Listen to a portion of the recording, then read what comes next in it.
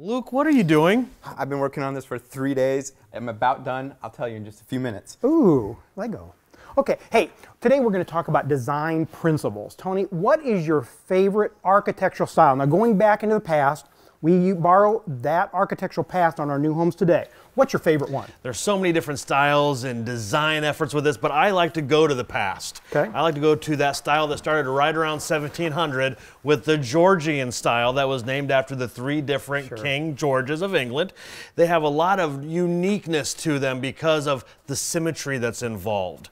They use a lot of accent pieces with brick quoins and keystones, and then they have the fascias that are a little bit, you know, thicker and wider, and the trim that's thicker and wider, and the board that's thicker and wider that really make it piece work. up there? Yes. Yeah. The big part about it though is all about the windows. The hmm. windows, straight column through there. Everything is just so symmetrical, and there's a lot of interesting things about those windows. I heard you got a real quick secret. You can tell me which period that was built in because there's early Georgian, Correct. There is middle Georgian, and then there's a late Georgian. So which one was built in which time period? How can you Well, tell? the earliest ones are going to have the more window panes. 12 over 12 when you're looking at the window with 12 little panes and then 12 little panes. Okay. Because at those times, they couldn't make big pieces of glass. They could only do small pieces, so they had to use a lot of them together to make it work. So as time progressed, you can tell the early from the late by how many pieces of glass That's were in each one of those windows. Well, obviously, we borrow a lot of the architectural styles in how we build today. Now, I know each one of you guys picked an architectural style that you think we borrow from and use today. So, who wants to start? Well, I can address the Italianate style. This is one of my favorites, and we're seeing a lot more of it even in Fort Wayne here today. Uh, it started in the 1820s to the 1860s, maybe, for popularity in just uh, regular homes, and then it became more popular in uh, businesses and things like that in the 1880s and beyond. Um, it's really marked by usually a two to three story building. You're going to have a low pitch, really dramatic, long flaring eaves. Um, you're going to have tall, thin windows with usually an arch over the top of the window. And it's just a really beautiful style. And brackets. We use a lot of the brackets today Lots in of houses we're doing, almost every other house. Well, my favorite has to be the arts and crafts or the craftsman style home. And we've seen it become very popular in current days. But in the early 1900s in America, this was a very popular style. Some of the key components of it are large front porches, uh, brick and stone, shingle, wood, that's what they used on the exterior, low gables, typically a dormer a lot of use when it comes to brackets and exposed rafters. And I just think back, you know, my grandparents lived in a house like this. I have a lot of good memories Yeah. in this style of home.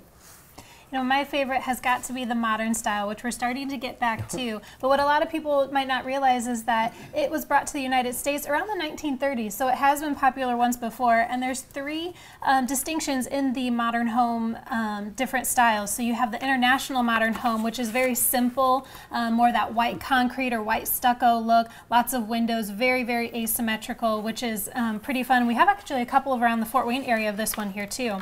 Um, the industrial modern, which is what you're going to see a lot of today, uh, we see a lot of buildings going up downtown that look like this here. You can really pick this one out by the dark uh, frame in their windows, a little bit of the asymmetrical, but um, the one that stands out to me has got to be the the wood veneer panels. You have big metal panels in different colors, and you can you can see some splashes of colors with this style too.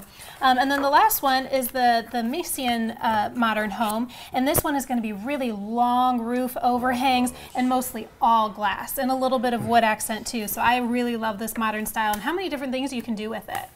Kayla, mine kind of ties into yours. I really like the vaulted or the shed style. I think a lot of these parts and pieces kind of intermix between different styles. Some of my favorite things on the vaulted style are the really, really low roof slopes.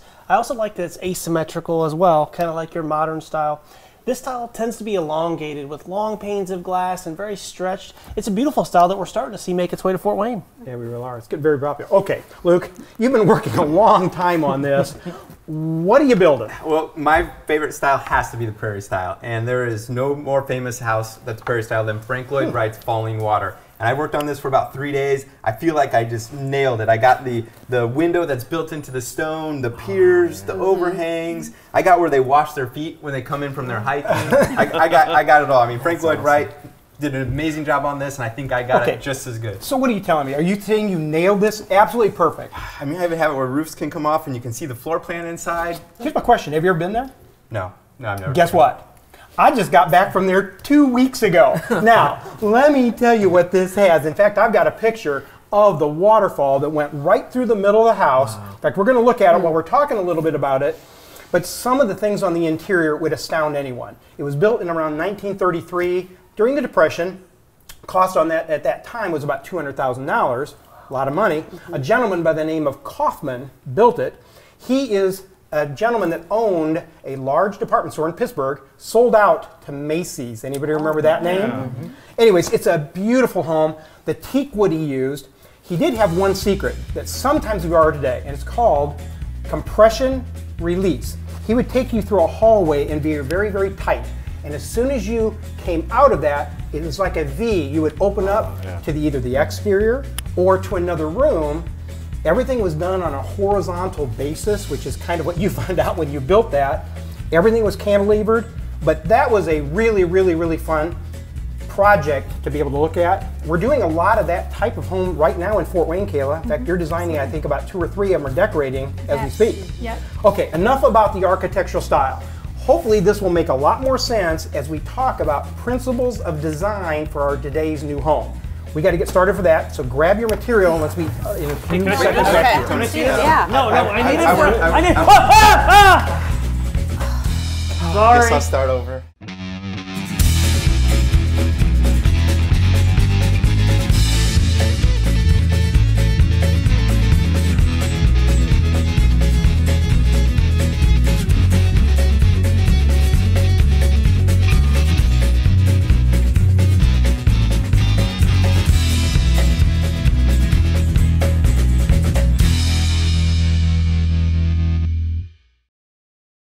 Welcome to Between the Studs. My name is Tony Reinke, and this is the Granite Ridge Builder Team. Today, we're going to be talking about design principles. We're going to get into what is aesthetically pleasing on the front of your home and what I like to call visual literacy. Tony, actually, 75% of homes that are built today don't follow those five basic principles. The main reason for that is once we hit about the mid 1900s, folks stopped using professionally trained and educated architects to design their home, and that's where we lost those principles. Yeah, and so what we're going to do today, we're going to define some of those for you. There's five principles. They are mass, balance, scale, proportion, and rhythm. So would you guys explain that to our audience? When we talk about mass, we're talking about taking the shapes, the squares, the circles, the rectangles that we're going to use to build a home, and we want to make sure that there are no voids. We want to make sure it makes sense and that the mass is appropriate. I kind of think of it as if we were headed on a, a pendulum like this. Would the one side of the building outweigh the other side, or does it all kind of balance together? Speaking about balance, that's basically we're cutting the house in half visually, and does the right side and the left side look like they're in proportion with each other? It's a very simple principle, but one that a lot of people forget about. And the third principle is scale. So, for in order to scale something, you have to have a point of measurement, and the point of measurement is a human being, so us. So, how does something feel and look in relation to us? So, like a front door, for example, is it too narrow or too tall, too wide and too you know short? Th- those things all go into scale. It could be porches, windows, all that in relation to how we fit into it is what scaling means.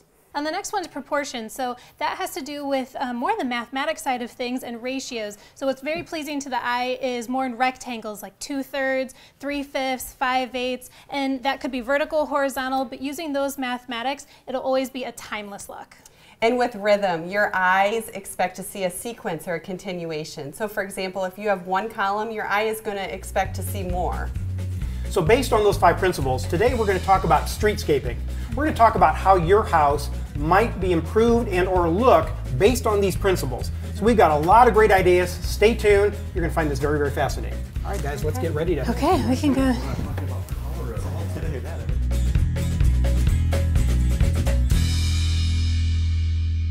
Today we have an emphasis on streetscaping. That is just the way your house appears as you drive up to it. It's such an important part of your home and sometimes very undervalued.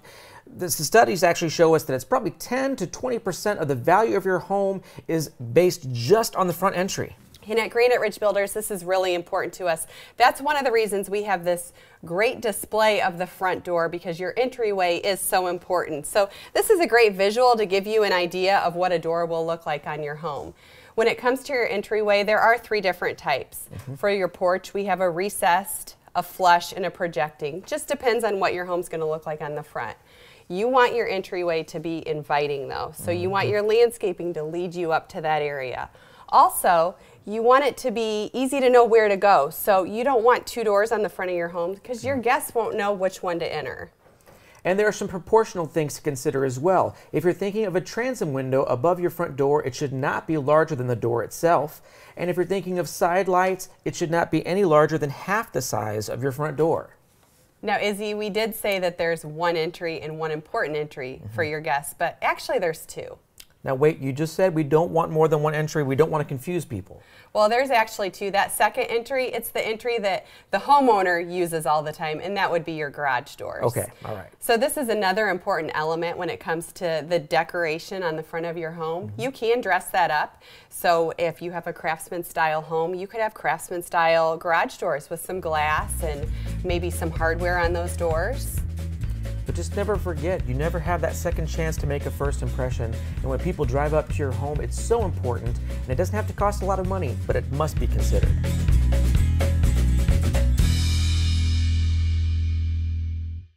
Elizabeth, today we're talking a lot about architecture and principles on the exterior of a home. And one of my favorite to discuss is how important it is to talk about the selection of materials on the front facade. And one of our favorite rules, Kayla, is the rule of five. And when we talk about five, we talk about five materials on the exterior of the home. We do this because you don't want too much visually on the front of that home. I think they say three to four is typically the most pleasing, but you can go up to five materials. So what we're talking about there, that's referring to a brick or stone would be one, your roof would be another, uh, then we're talking about siding could be one more, and then depending on the decoration and ornamentation after that. So it can add up pretty quickly. And one thing that we always caution people is a lot of people like a lot of different things, and unfortunately, they want to put it all on one house, and that's where we really violate that rule of five. We can. There's a couple other principles to consider. One of them is to keep the heavier materials on the bottom. So when you're selecting materials, you want to make sure that your brick or stone typically would be underneath something that's like siding because siding looks lighter. And if you had the brick or stone on top, it looks like it could probably crush your, your lighter siding. So, so that's a design principle to keep in mind. Another one is to keep contrasting colors uh, to highlight your different accents. So you want to make sure that, you know, if you have siding and stone, you don't necessarily want them the same color because you want to provide that visual interest and contrast. So as you can see, it's so important to have professionals like Kayla here at Granite Ridge Builders to help you with all of the selections on the exterior of your home.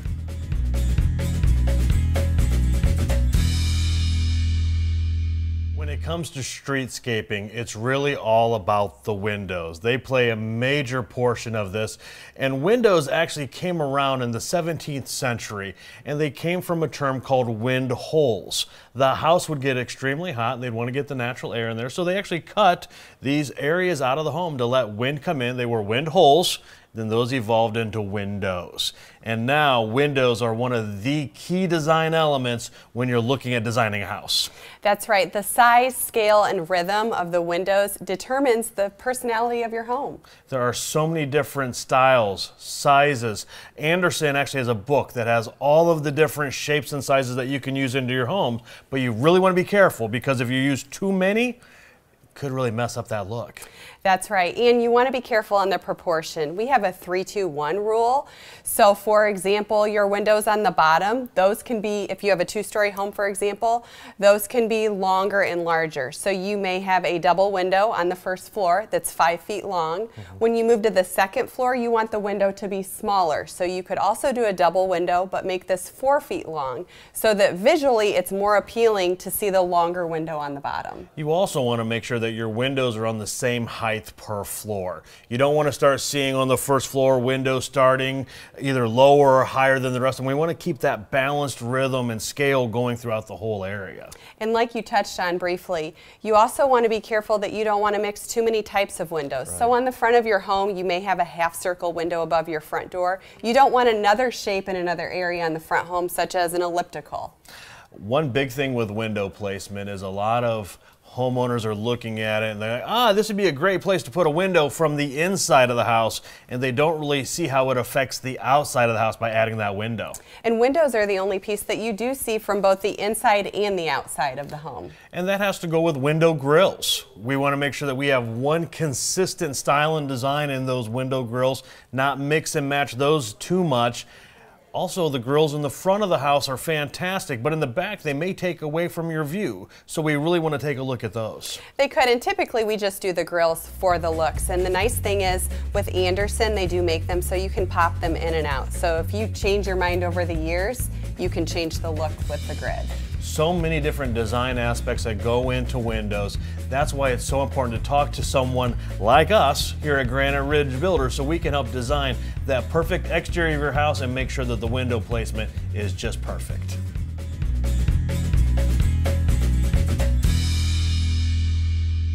Well, Luke, the roof obviously is very important structurally when it comes to the home, but it also adds some aesthetic curb appeal as well. Yeah, the roof is the basically the cap that just brings all those other elements that we've been talking about into one unit. And uh, it can provide a lot of visual interest, uh, like you said, from the curb, but it can be done right or it can be done wrong. It can, and when we sit down with clients, it's one of the first questions we ask what type of roof do you like? And when we talk about what type, a gable roof or a hip roof. Now what we have behind us here is a hip roof and it depends on the style of your home, usually which one you choose. Yeah, the most commons are like you said, the gable, the hip, and then a shed, which is just a simple slope uh, one direction. So, and I mentioned the word slope. Slope can play a big part in that visual interest. And depending on the architectural style that you're looking for too, uh, the slope can either look right with that architectural style or not look so right. So like for example, a vault is a three, we did a 312 on that and that was a very low slope and it looked right. But something like a Gothic style would maybe do more like a 1212 slope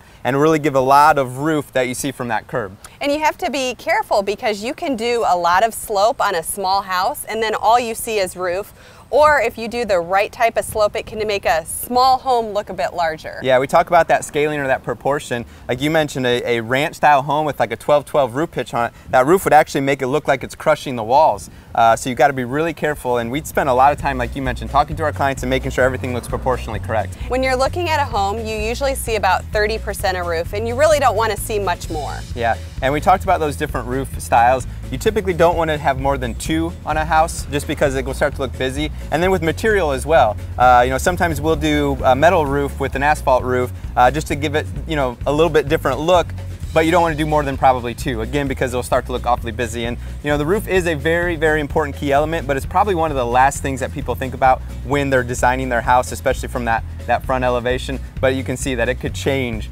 drastically how that house looks.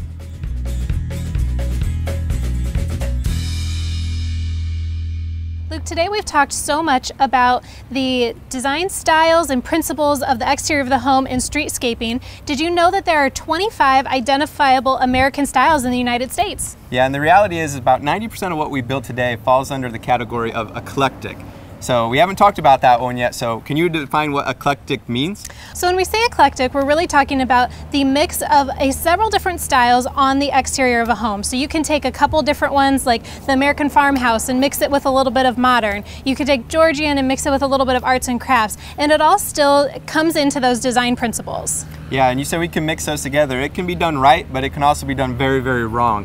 Uh, and all those principles are very, very important. Uh, out in the field, all of my craftsmen, uh, Uh, the framers, the siding guys, the trimmers, every single one of them, they know these principles that we've gone through and we've studied these, and they understand how important it is to get it right. And we do a lot of that up front when we meet with the client too. Exactly. We're here to help you design the style that you're looking for and we can mix those correctly for you. We can still keep those principles intact and that's very important. You can still mix your styles, get the flares that you like to do and keep those principles correct.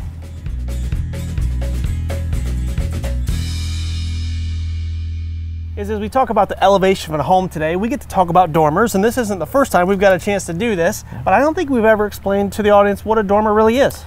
Well, a dormer is just a pint-sized structure that's on the roof of a house. It's little something there, kind of usually looks, looks like a small house, and it interrupts the way the roof runs.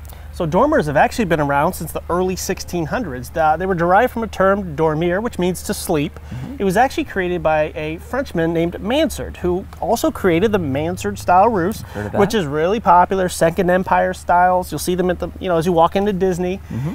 In that, it has a really steep four-sided roof slope. So within that, the steepest part of that, he'd, he'd introduce windows there, which would bring natural light, fresh air, and add more volume. And he did this in Paris because he had restrictions on height on what he could do for buildings, so he had to create more living space.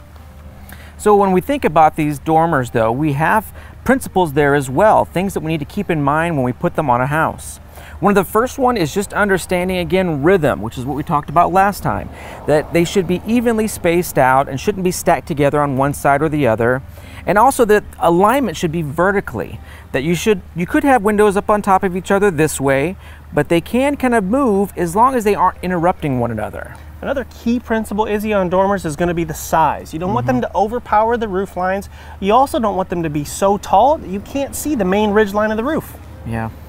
And probably the biggest principle is the rule of 75%. 75% of that dormer should be glazing or glass. It should not be materials. It's there again, like we said, to bring in light and to bring in air. So it should be 75% glass almost every time. And Izzy, we've been talking a lot today about rhythm, so you want to make sure that the materials that are used on these dormers flow with everything else Yeah. you've been using on the exterior of the home. So dormers can be a great thing to add. There are some principles to pay attention to, but again, come on into Granite Ridge Builders. We'll help make sure that front of the home, everything included, is going to bring value to your home.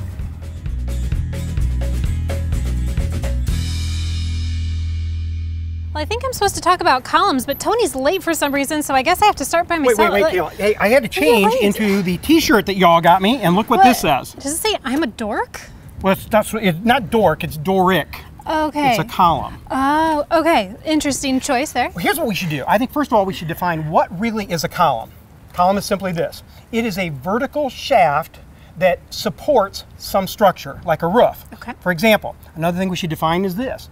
The entablature, that's what's above the column. There's three parts. We've tried this before. The cornice, which is the top, the frieze, which normally is a flat board, and then the architrave, which might be like a bed molding below.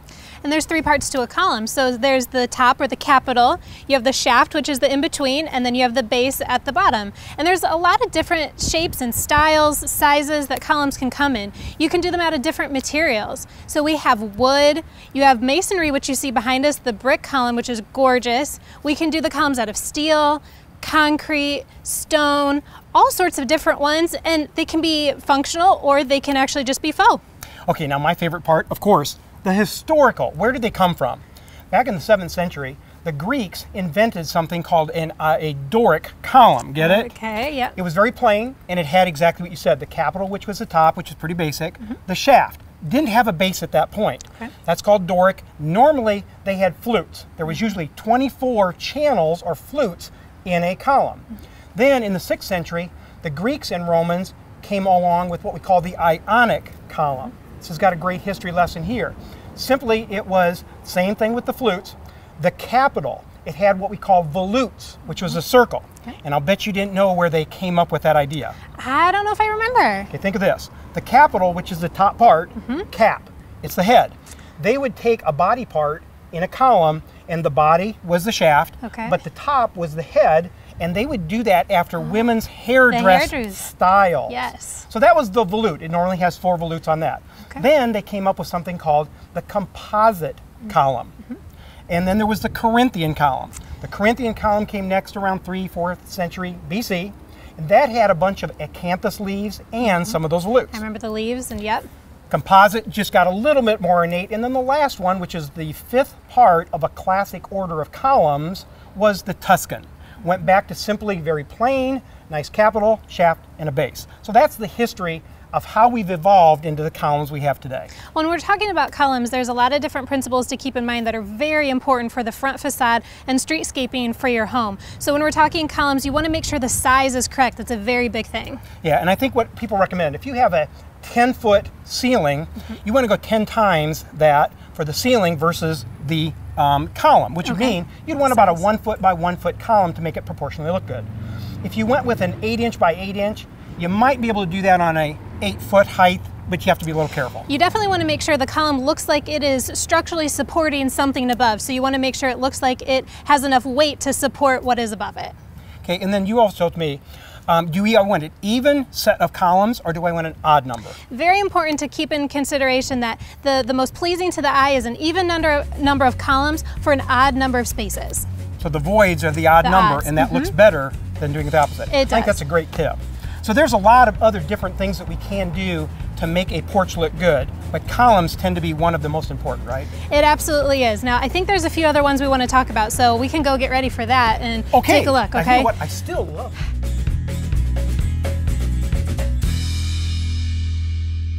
Today we've really done so much to really help people understand that there's never a second chance to make a first impression with your home. So on architectural style, there's so much uh, value there.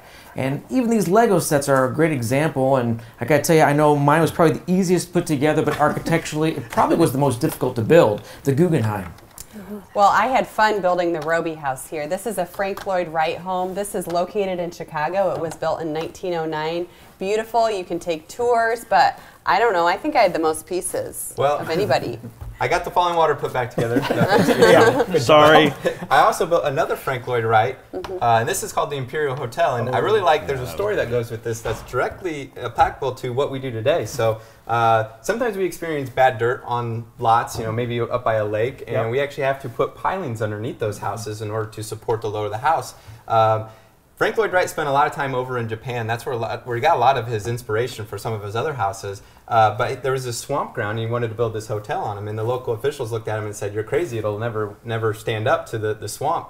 So he put pilings underneath this, and they were concrete pilings. And he actually used a lot of reinforcement in there as well. Put rebar in there, and there was an earthquake that came through, and all the buildings around the Imperial Hotel uh, all collapsed except for the Imperial Hotel. So he uh, he was a genius, uh, ahead of his time, and again, we use a lot of that still today.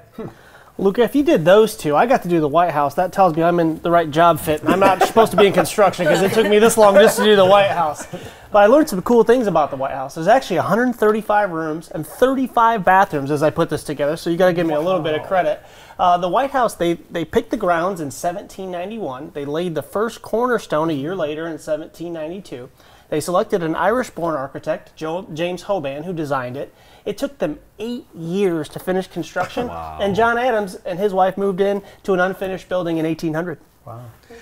the big thing that I've learned about all this is there's a lot of education that has to go into each and every design style that we have. And that's what we do here. At Granite Ridge Builders, we are always studying, we are always in different classes, we are always learning all the different design elements. And that's why you really need to come in and talk to us when it comes to designing your perfect home. Because we've got a lot of great ideas on principles of design that we'd love to share. Hey, Jared, would you close for us? Absolutely. As always, guys, I want to thank you for spending part of your day with us. If you'd like to learn a little bit more about who we are, what we do, and why we do what we do so well, please just pick up the phone, give us a call, visit the website below. Even better yet, come in one of our front doors. We love to help you build your own custom Lego set and your new home. All right, you guys have played around with Legos way too long. We have a real the style I job. was talking Luke, can I see him? No, Can, can, I, can, I, can, you're done. You're done, man. You're, you're done. I'm going to break the Lego and tell them they're missing the. A dormer is like a pint-sized house that's just there to interrupt the, the rhythm of the roof or the way the look of the roof structures over. And take two.